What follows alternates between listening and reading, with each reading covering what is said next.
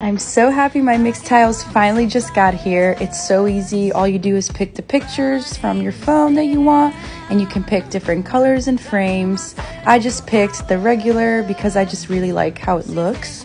So the pictures I chose were all from places that I've been to. And yeah, so here's me putting them up. It's so easy as well to put them on your wall because they don't leave any residue. So you can mix match with ease. And I also have a code for 50% off.